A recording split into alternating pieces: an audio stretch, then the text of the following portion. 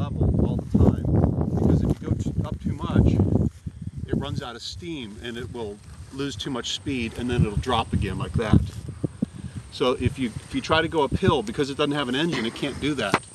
And so it'll slow down too much and then it'll drop and then you lose control of it. So all the time, you have to keep the wing pretty level and just glide around, keeping the, the whole body of the airplane very level.